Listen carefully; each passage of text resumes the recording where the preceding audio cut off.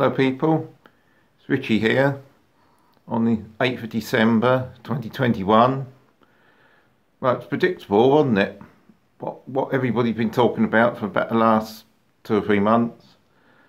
The government have implemented Plan B for their COVID restrictions. Everyone kept saying, oh, oh yeah, it's going to come in, it's definitely going to come in. And the other half of people thought, oh no, they never do that again. But of course, we all knew we all knew something would happen, didn't we, before Christmas? Just just it's gone just like last year, isn't it? Like bought bought in face masks. Now you've got to wear them in theatres, cinemas, indoor places. More more restrictions on uh, tra travel on that, flying in and out with uh, tests, having to take PCR tests and lateral flow and all that sort of crap. And also for England, we now got vaccine passports for places like uh, football grounds, open venues over, I think it's venues over 500, and uh, seated venues for over 500, I think, and uh, venues for 10,000 people, I think applies to anything, but in mandatory vaccine passports, which is something we never thought we'd see in the UK, especially in England. I know they've had them in Scotland and Wales and Ireland and that for a few weeks, but didn't think we'd see anything like this coming in the UK, did we? This is just the thin end of the wedge, isn't it? We've already got, got them in Austria and Germany and various other places to gradually bring them in. But, I mean, how far do you think we're going to go with this? I mean, they keep talking about this new, this new uh, Omicron variant of the uh, Lurgy far as doctors and that in South Africa, where it originated, most of them seem to think it's pretty mild. Not not much not much more worse than like just catching the common cold.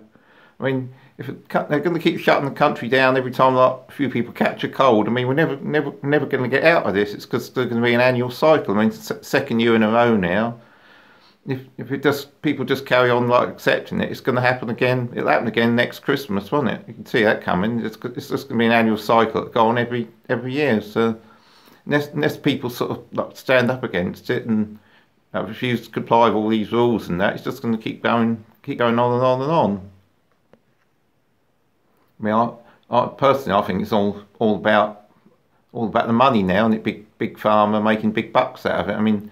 NHS have announced couple of days ago that they're now going to each for each uh, each jibby jabby that's given, doctors to get I think it's about 20 20 pound 20 pound per jab now. Doctors and pharmacies to get for each jab that's been prescribed. And I think if they do them at weekends, I think they're going to be paid up to thirty pounds. So basically, they're just being just being blackmailed to jab people, really, aren't they? To be honest.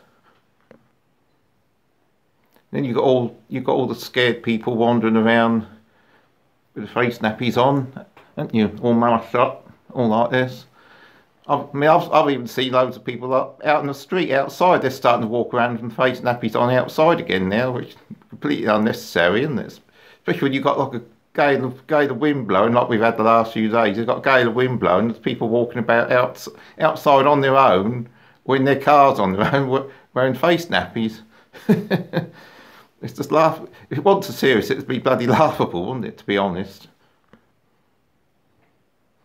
I mean, then you got like Boris coming on at six o'clock on, on their on their press conference. You got the, the, dreaded Three Stooges coming up, like doing all doing their usual stuff. And then, I mean, now they're saying, oh, every, everybody's got to get their third jab, and they're. I think they're even talking about some people having to have like fourth jabs and things like that. I mean, how many people? I mean, how many people are going to like carry on going down. I mean, you, six months' time, you'll be looking at, they'll be saying, oh, you've got to have your fifth jab or your sixth jab. By the time you get to next Christmas, it'll be, be oh, you might have to have, a, you might have to have your eighth booster or your ninth booster. I mean, it's bloody ridiculous, isn't it?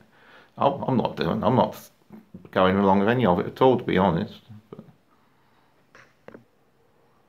I think people, more people need to stand up against this. If it, say if it, ca if it carries on, it'll just be, well then we'll end up like the rest of Europe, and if it carries on, keeps on going on, that's we'll end up be like China with its social credit system. Everyone will have to have their vaccine passports.